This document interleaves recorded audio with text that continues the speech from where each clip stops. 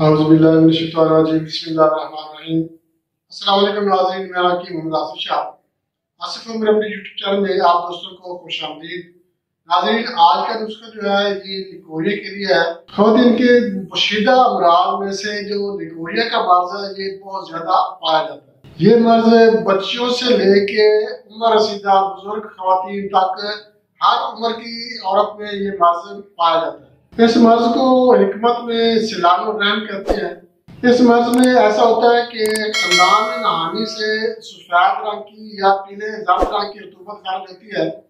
یہ بدبودار بھی ہو سکتی ہے اور بے بو بھی ہو سکتی ہے۔ دونوں صورتوں میں ہو سکتی ہے۔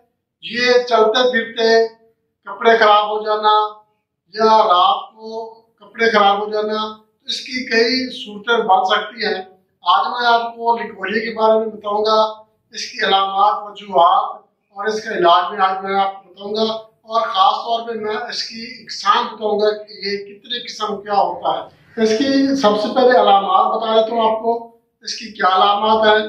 لکولی کا مرض جو ہے، ہر عورت میں الگ الگ علامات ہوتی ہیں۔ کیونکہ یہ مزاج کے مطابق ہوتا ہے، غذا کے مطابق ہوتا ہے۔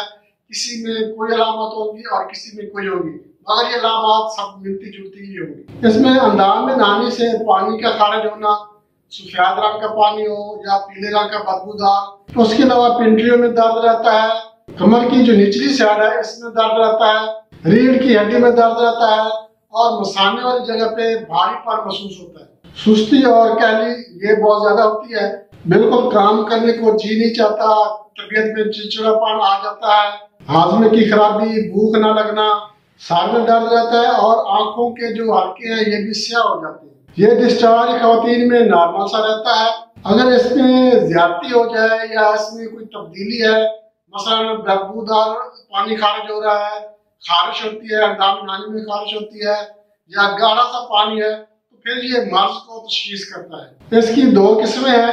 پہلی قسم جو ہے وہ فزیولوجیکل لیکوریا ہے اور دوسری قسم جو ہے وہ پیتھالوجیکل لیکوریا ہے۔ جو فزیولوجیکل لیکوریا ہے اس سے مراد جسمانی عوامل میں جوش و خروش ہے۔ لڑکیوں میں بلوغت کے دوران ہارمونل تبدیلیاں، کم عمری میں شادی کرنا اور شادی کے بعد کم عمری میں حمل ہو جانا اور سیکس ایکسائٹمنٹ جو ہے، یہ اس کے عوامل ہیں۔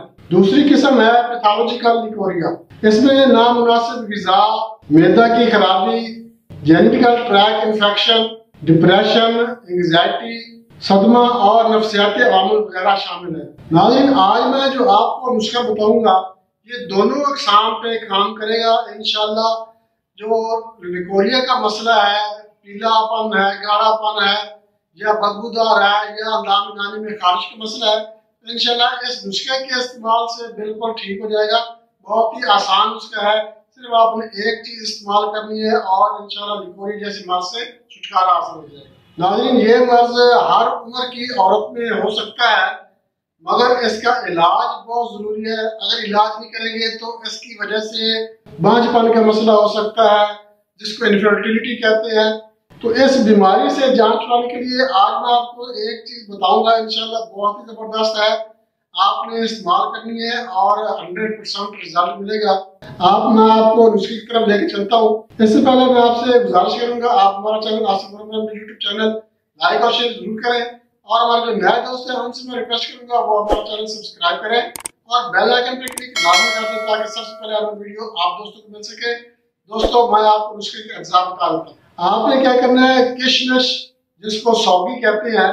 یہ آپ نے روزانہ صبح نہار میں اکیس دانے استعمال کرنے ہیں، ایک ایک دانہ کر کے چبا کے کھانا ہے۔ آپ نے اکیس دانے روزانہ صبح نہار منہ ناشتے سے پہلے کھانے ہیں۔ اب اس میں دو چیزیں ہیں۔ ایک ہوتی ہے منقع مویز منقع۔ یہ تھوڑی سی بڑی ہوتی ہے، مگر آپ نے کیا کرنا ہے، چھوٹی جو ہے، کشمش جس کو کہتے ہیں، جو عام جو ہے نا زرد پلو میں ڈال جاتی ہے، یہ آپ نے اچھی قسم کی لے لینی ہے۔ خراب نہ ہو گلی نہ ہو، کالی نہ ہو، بہترین قسم کی ہو۔ اچھی والی آپ لے لیں تو آپ نے روزانہ صبح میرے یہاں اکیس دانے چبا کے ایک ایک دانہ چبا کے کھانا ہے۔ انشاءاللہ آپ ایک مہینہ استعمال کریں۔